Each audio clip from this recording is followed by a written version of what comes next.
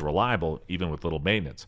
It holds up well even in suboptimal conditions. They also feature a double single action design, so it's easier and safer to use for those who aren't familiar with guns.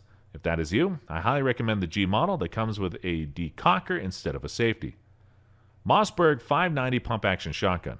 But maybe putting bullets into zombies' heads won't do the trick. They're dead after all. We have no way of knowing if destroying their brain or any organs would do any good.